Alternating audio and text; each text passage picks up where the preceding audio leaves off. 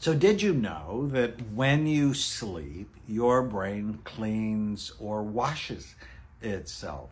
Um, scientists for a long time didn't know that the brain had its own lymphatic system to sort of clean your synapses.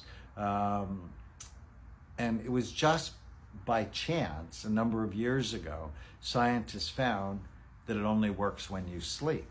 So during the day, your brain is so busy, it's not really cleaning up the trash it creates. But when you sleep, the fluid system, it's called the glymphatic system, opens up and it actually washes your brain.